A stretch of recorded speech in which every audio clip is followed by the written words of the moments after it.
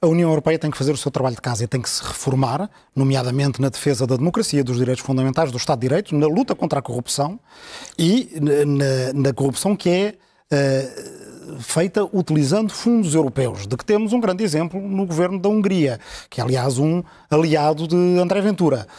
Viktor é Orban, é, neste momento, não vai negar, não vai negar que é aliado. Eu não vou negar e nunca nego os meus aliados. Pronto. Então também não vai negar que é, neste momento, considerado por várias organizações internacionais o governante mais corrupto da União Quais? Europeia. As financiadas pelos Jorge seu... Soros. As financiadas o... pelos Jorge Soros. Essas é que devem O pai de Viktor Orban é um dos homens mais ricos da Hungria. Não era antes de Viktor Orban ser primeiro-ministro, então, mas é o genro de Viktor Orban, o cunhado de Viktor Orban, os amigos de infância de Viktor Orban são todos os homens mais ricos da Hungria.